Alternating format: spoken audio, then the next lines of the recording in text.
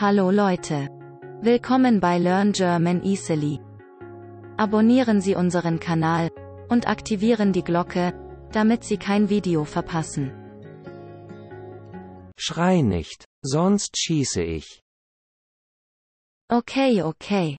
Ich werde komplett schweigen. Wie bist du ins Haus gekommen und hast den Safe geöffnet? Beide sind mit einer Geheimzahl gesperrt. Das geht dich nichts an. Sag mir, wo gibt es andere Geld in diesem Haus, sonst schieße ich. Bitte, tun Sie dies nicht. Hier ist kein Geld mehr. Zwing mich nicht, auf dich zu schießen. Nimm diese Kette und töte mich nicht. Diese Kette ist 50.000 Euro wert. Okay. Ich werde dir glauben. Ich nehme das Geld und die Kette und gehe. Wenn ich deine Stimme höre, werde ich dich erschießen.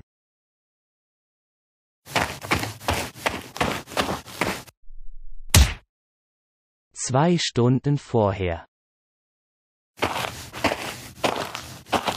Hallo Sarah, alles Gute zum Geburtstag. Ich weiß, dass du gestern Geburtstag hattest. Vielen Dank Lisa. Woher weißt du? Ich habe das gestern in deinem Facebook-Post gesehen. Ja, das ist richtig. Tut mir leid, dass ich dich nicht eingeladen habe. Ich habe dich vergessen. Kein Problem, Sarah. Alles gut. Ich muss jetzt wieder zur Arbeit. Okay, Lisa. Hallo Sarah. Alles Gute zum Geburtstag. Ich habe dich und Lisa reden gehört. Danke, Markus. Es war eine wunderbare Feier. Ich habe alle meine Freunde zur Party eingeladen, außer Lisa natürlich. Und warum denn? Lisa hasst mich und bringt mich bei der Arbeit immer in Schwierigkeiten. Aha. Deshalb sagtest du, du hättest vergessen, sie einzuladen. Und du bist wirklich weder bei Facebook, noch bei MySpace, oder Twitter? Nein, ganz bestimmt nicht.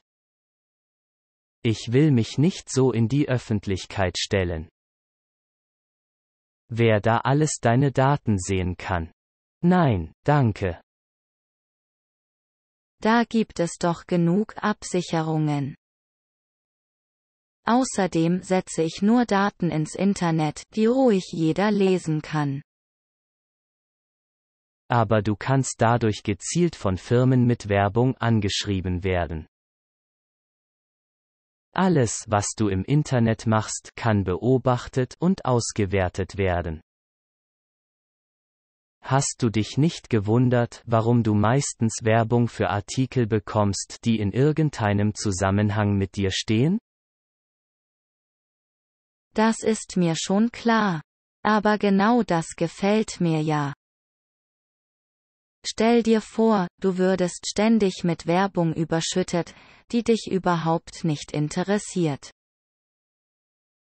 Da ist es doch viel sinnvoller, nur Werbung zu Produkten zu erhalten, die du dir vielleicht auch kaufst. Das brauche ich genauso wenig wie diese Unmengen von Werbung im Briefkasten. Ich finde das nur ärgerlich. Und glaubst du nicht, dass es genügt, zu telefonieren oder SMS zu schreiben, um mit deinen Freunden in Kontakt zu bleiben? Es stört oft, wenn das Telefon klingelt. Da schreibe ich lieber eine SMS. Aber ich will mich ja gar nicht immer mit jemandem austauschen. Manchmal will ich auch nur kurz sehen, wie es ihm geht, oder etwas mitteilen, was ich gerade mache. Findest du das nicht toll? Wenn ich mit jemandem Kontakt haben möchte, der weit weg wohnt, dann schreibe ich E-Mails oder wir skypen. Das funktioniert genauso gut. Oh Markus, du bist wirklich so altmodisch. Das sagen auch viele über mich. Ich habe heute meine Arbeit beendet. Bis morgen an einem neuen Arbeitstag. Oh, Sarah hat diese Schlüssel hier vergessen. Ich werde sie anrufen und ihr sagen, dass sie die Schlüssel vergessen hat. Hallo Sarah. Du hast deine Schlüssel im Büro vergessen. Ja, ich habe sie nicht in meiner Handtasche gefunden.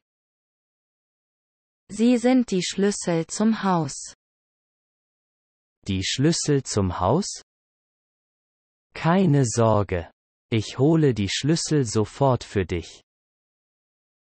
Ohne sie kannst du das Haus sicherlich nicht betreten. Ich habe dir gesagt, Marcos, du bist altmodisch. Mein Haus ist Smart House. Ich öffne das Haus durch eine Geheimzahl an der Tür. Ich lebe allein zu Hause. Aber natürlich ist es kein Problem, wenn du kommst. Lass uns zusammen Kaffee trinken. Okay, Sarah. Ich komme zu dir.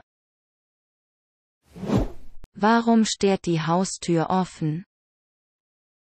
Ist Marcos vor mir nach Hause erreicht?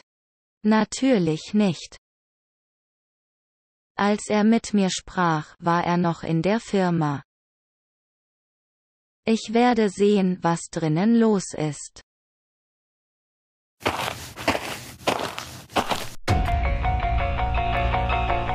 Oh, ein Dieb? Schrei nicht, sonst schieße ich. Okay, okay. Ich werde komplett schweigen. Ich bin fertig damit, das ganze Geld aus dem Safe zu nehmen. Sag mir, wo gibt es andere Geld in diesem Haus? Wie bist du ins Haus gekommen und hast den Safe geöffnet? Beide sind mit einer Geheimzahl gesperrt. Das geht dich nichts an. Sag mir, wo gibt es andere Geld in diesem Haus, sonst schieße ich. Bitte, tun Sie dies nicht. Hier ist kein Geld mehr. Zwing mich nicht, auf dich zu schießen. Nimm diese Kette und töte mich nicht. Diese Kette ist 50.000 Euro wert. Okay, ich werde dir glauben. Ich nehme das Geld und die Kette und gehe. Wenn ich deine Stimme höre, werde ich dich erschießen.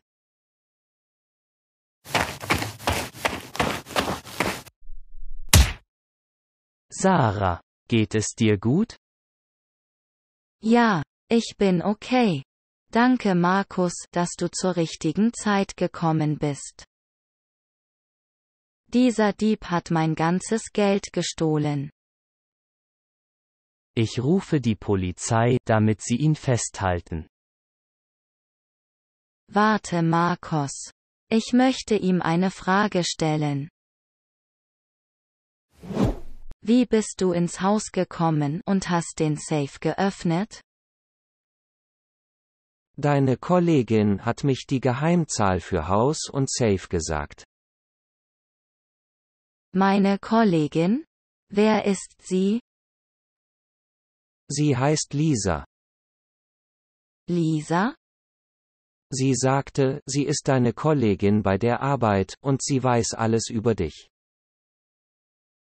Sie hat mir gesagt, wir teilen das Geld, das ich im Haus finde. Woher kennt Lisa diese Informationen über dich, Sarah? Wie ist sie die Geheimzahl für Haus und Safe gekannt?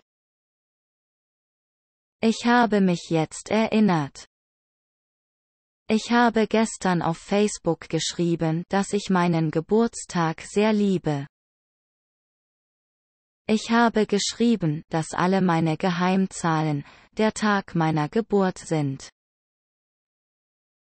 Ich habe dich wiederholt davor gewarnt, deine Daten in die Öffentlichkeit zu stellen, Sarah. Ja, Markus, du hattest recht. Es ist okay, Sarah. Es ist nicht die Zeit für Reue. Aber ich bin wirklich schockiert von Lisa. Wie macht sie das? Sie ist nun in den Diebstahl verwickelt. Was wirst du mit ihr machen? Wir werden diesen Dieb lassen gehen. Dann gehen wir zu Lisa und fragen sie, warum sie mir das angetan hat. Lisa, wir haben den Dieb gefangen, den du geschickt hast. Warum hast du mir das angetan? Ja, Sarah, ich bin eifersüchtig von dir. Du postest deine Fotos täglich in den teuersten Restaurants. Du postest deine Bilder immer, während du einkaufen gehst und schicke Klamotten kaufst. Mein Mann arbeitet seit acht Monaten nicht mehr und unser Geld geht fast zur Neige. Ich sagte mir, was passieren würde, wenn ich etwas Geld von dir nehme. Das tut mir so leid. Ich weiß nicht, wie ich auf die Idee kam, dir Geld zu stehlen. Bitte Sarah. Vergib mir diese dumme Tat. Natürlich vergebe ich dir Lisa. Ich bin derjenige, der sich dafür entschuldigen sollte, dass ich deine Gefühle verletzt habe. Abonnieren Sie unseren neuen Kanal Deutschprüfungen und aktivieren die Glocke, damit Sie kein Video verpassen.